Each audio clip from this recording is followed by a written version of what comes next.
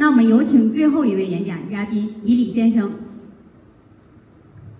谢谢你，呃，我叫伊里，我的中文名字是伊里，呃，我不但是亚洲银行家的主持，呃，而且我是呃财富与社会的创始人，呃，我来北京很久，但是我还没来来过呃东东九，呃。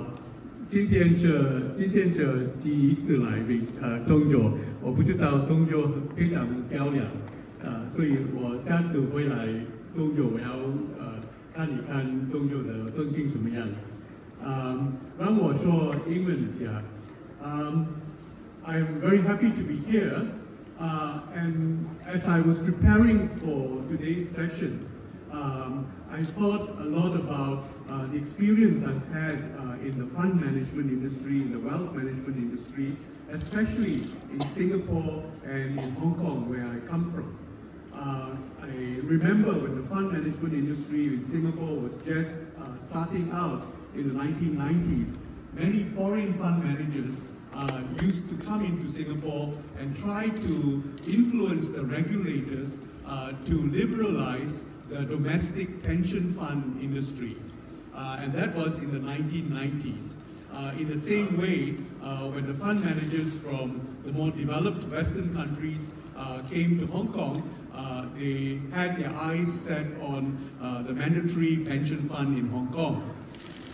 and today, as I'm participating in this um, panel discussion, we are at a time when many foreign fund managers are beginning to apply for licenses to be wholly owned uh, entities to compete in the Chinese uh, fund management uh, marketplace. But there is a huge difference uh, between the entry into Singapore and Hong Kong in the 1990s and in the 2000s and the entry into China today. Uh, the fund management industry in China is crowded uh, there are thousands of players already in the marketplace.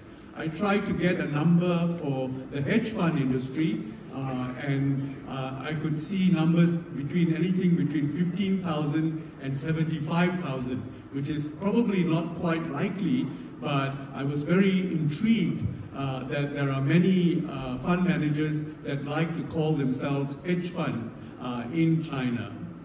Um, any foreign player entering the Chinese market today uh, will be confronted by a robust domestic market, but both foreign and local Chinese players are confronted by new technological challenges that are creating new realities that all of us have to come to terms with. And I'd like to share with you some very simple points about these new realities. In other words, uh, the way in which the wealth management industry, the fund management industry in China evolves in the next 10 to 20 years will be an example not just to China, but also to the rest of the world. I just recently published my first book, uh, The Great Transition, The Personalization of Finance is Here. A lot of what I've written in my book uh, is about uh, the impact of technology in finance. In fact, uh, Richard Sandor, who uh, we heard just now, wrote one of the two forewords in my book, and the other foreword was written by, um, by Barney Frank, uh, who is the co-author of the most important reg regulation in the US called the Dodd-Frank regulation. Um, and uh, my book is uh, gaining a lot of credibility in the US, uh, but it's a very difficult process because the banking and finance industry um, is divided between the traditionalists who want to uh, protect what they have already created uh, and the disruptors who are trying to change the rules. So let me share with you just some very three very simple principles about the impact of technology in finance. Um, the first principle I'd say is that technology is not a competitive advantage. Technology is a necessity. All of us will need to have uh, to be on platforms. Uh, all of us will need to build uh, robust and agile technology infrastructure but none of this gives any player an advantage over another player in this marketplace. Um, what technology does, the second point, is that it commoditizes financial services. In other words, it makes financial services cheaper to the point that anyone can provide financial services and anyone can com compete in financial services. So your competitor may not be another big player. Your competitor might be uh, the small player uh, in, in a small town uh, around the corner from your branch uh, in that town. Um, the third thing that technology does is that it levels the playing field, meaning that uh, it makes the big player and the small player equally important uh, in the local marketplace. Now, if it levels the playing field, then the, um, the this, there's this phrase in English called the value proposition, or the benefit that you give to your marketplace has to be something other than the technology. Now, the fourth point I want to make is that technology shifts the power of the relationship from the institutions that provide them to the end user. In other words, because of technology, your customer is more powerful than you. And he's becoming increasingly more powerful over time. In the US, in, the, in 2022, uh, there was this big um, uh, crisis where retail investors getting together on a platform called Reddit were able to uh, put together so much good opinion on, on what they thought the value of certain stocks were. Okay, um, there, there were stocks on, there was a, there was a cinema company stock uh, which the institutional short sellers were trying to, uh, to short sell uh, and the retail investors came back and pushed the institutional uh, short sellers back.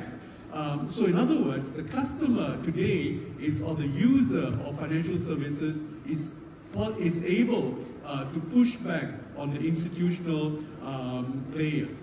So we need to take into account uh, these dramatic forces that are transforming financial services today.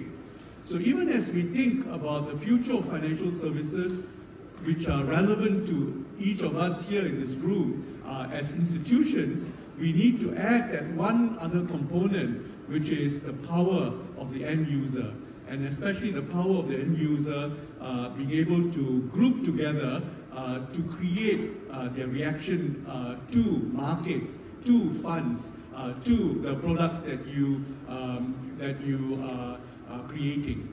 Um, and all of these means one very important thing, which we haven't been able to imagine yet. Uh, and that is also something that I say in my book, which is that uh, if the products don't change, nothing changes in financial services. So we can talk about technology, we can talk about infrastructure, we can talk about the customer, but then we need to start looking at our products again. Because if you think of a fund as a product or a hedge fund as a product, uh, that's not what the customer wants to buy. Uh, in fact, um, my colleague just now was talking about, uh, about the fact that uh, the, the asset itself is becoming um, intangible. Uh, there's something in what he said just now, which is that uh, that should lead us to think of how we need to revolutionize our products itself. So these are my points. 好的，感谢以礼先生讲了对技术的深刻的一个理解。他讲到几点值得这个关注的，一个就是技术不是竞争力的优势，那技术呢让产品可以大众化。第三个呢就是技术让市场变得这个平等竞争，还有一点就是技术让那个小微群体有了同等竞争的机会。